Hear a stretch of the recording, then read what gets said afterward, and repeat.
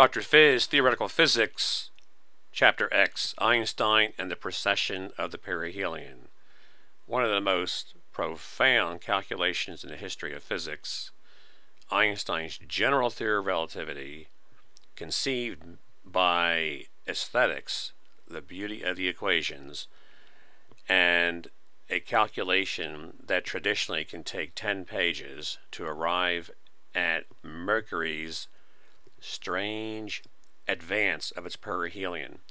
But first, let's look at, in this section, the gravitational effect on time. Well, in a previous video, we showed that clocks run slower on the ground floor compared to clocks high in the atmosphere, but there the gravitational constant situation is now no longer applicable because we need to deal with long distances where the inverse square law has to be used. Near the surface of the earth we just use mg, but now we have to use the big G. And a nice way to arrive at the potential energy, if you can think of Hooke's law, when you have a string pulling you back, you fight that by pulling in the opposite direction with a plus kx and stretch here, let's say from 0 to x, at uh, 0 be equilibrium, then you get 1 half kx squared. That's the work you do, and we call that the potential energy. If you should release the mass on the spring, it will then gain speed as its potential energy is converted into kinetic energy. Note that the derivative of u with respect to x gives kx, and if you put the minus sign in, you get the restoring force.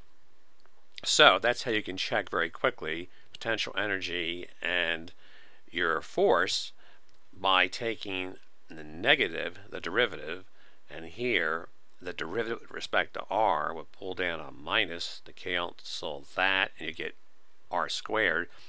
But introducing this minus sign overall will get you the right formula. So that's our potential energy. Now we're going to look at a photon that is traveling from very far away at infinity down to the star. So at infinity, we have no potential energy since r is infinity. It's infinite. And when we get to the bottom, the bottom here refers to some r away from the star but kind of close to the star. So we then replace the mass here with the equivalent mass of the photon equals mc squared. And that's our Planck constant times the frequency. And this is the bottom place at r. And here there is no mass to worry about.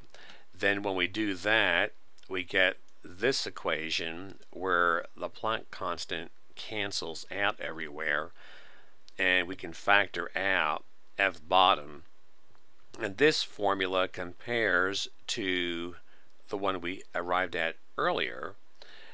Uh, however we don't have the time yet so we want to do the flip the reciprocal. The, the period is 1 over f and this would be like our ticking clock the t. So we flip everything to get that the reciprocal of everything and then we notice that we want to solve for the bottom one. The clock at the bottom is the one, see here, that is slower. And that's analogous to what we did in an earlier video on Earth. We showed that the bottom clock was slower compared to the top clock, the clock that was higher up.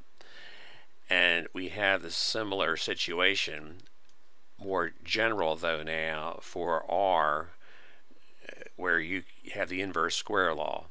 So that's the formula for the little ticking of the clock, t prime, dt prime, near the star, is here running slower than the ticking dt at infinity. So uh, that is what we're going to do for this video, and we'll continue with the next video to talk about space.